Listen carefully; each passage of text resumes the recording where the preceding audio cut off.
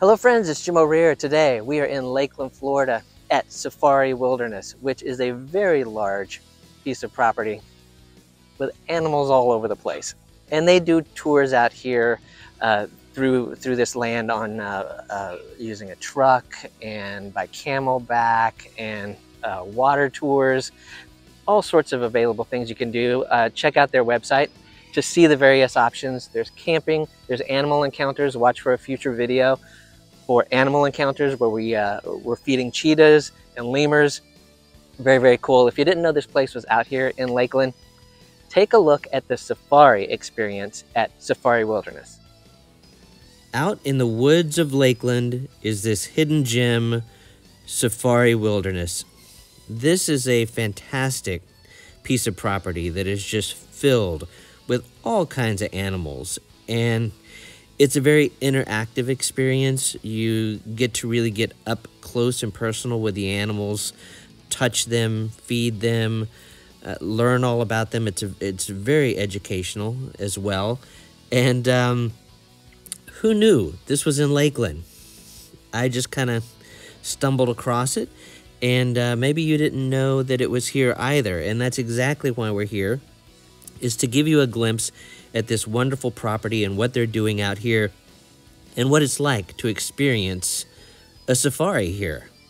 Uh, we're in Safari Wilderness uh, Ranch right now, which is an agritourism slash ecotourism enterprise in Polk County. We're on 10850 Moore Road, just off of exit 38 on I-4, and we're in the middle of this green swamp area, which is the second largest wilderness area in Florida after the Everglades. It's about 850 square miles.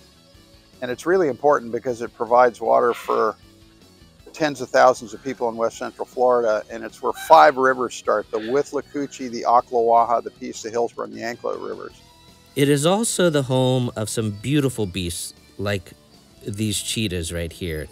I don't think I've ever been up close and personal like this with cheetahs before. Beautiful creatures, and they are all over the place, and they want to come get to know you. I'm a biologist that worked has worked in the zoo business and conservation business for the last 45 years professionally, and and um, after working in zoos, I wanted to put animals in larger areas. So I went about assembling about 310 acres in this green swamp area. And we have about 1,500 animals here. We take people through the land in five different ways. You can go on camelback here, you can go on ATV safari. You can drive your own vehicle and we'll talk to you through an FM transmitter through your radio. That's the least expensive way to do it. But we're going to be going out into uh, uh, the, the savanna and the, the ecosystems out there in, in one of our vehicles, which is called a custom safari tour. Um, so, and we also have kayaking tours here. This truck really is the way to do this safari. It's very, very cool. You get to stop at specific points and take your time and see the animals and interact and learn about things like how much weight an ostrich egg can take. Look at that, how sturdy that thing is. And like I said, it's it's very interactive and hands-on. The animals want to come right up to the truck. You get to feed the animals by hand out of the truck and these animals are so sweet and gentle. They, uh, I mean, even the little ones like this, little kids you see are just, uh, you know, not in, in any danger at all. Um, they are just lovely, lovely creatures that you get to get up close with and really kind of get to know them a lot better. So I like uh, putting people with animals and having them learn about the importance of you know taking good care of animals and bringing them into the future with us as well as where animals like to live what the what ecosystems that they're dependent on upon. There's a lot of babies you can keep your eyes open for too like that little one right there hiding in the lemur. And uh, there's another little one getting some milk and this one became my buddy. How sweet how sweet is that? And there are tents on property. You can stay here. You can sleep here with the animals right out there in the open. And uh, this is really, really cool. We now have a tent camp with 10 tents just like in Africa. I've been to Africa many times and uh, I stole that idea from the uh, safaris in Africa. And this isn't just normal tent camping. I mean, look at this. You, you've got electricity, carpeting, nice cushy beds. Look at that. And the tents even come with air conditioning and heating units. How about that? That is the way to go camping. And just outside the tent on your deck, look at the view.